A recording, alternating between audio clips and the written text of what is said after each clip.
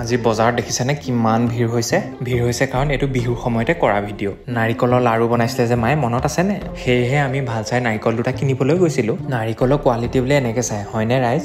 ইমান ডাঙৰ মধুৰি চাওক আ যাও আ যাও জল্দি চে আ যাও ভৈয়া ৱৰ্ণা এনিক দিগ যায়গা ভৈয়া কি অৰ্ডাৰ দিলোঁ বাৰু? গেছ কৰকচোন। এই গেছ কৰিব বাদ দিয়ক আপোনালোকৰ আগতে খোলো বলকচোন মোৰতো চাব লাগে নহয়। এইটো ইমান টিকলা কুকাৰ ওলালে যে আপোনালোকে দেখি আচৰিত খাইছে চাগে ন?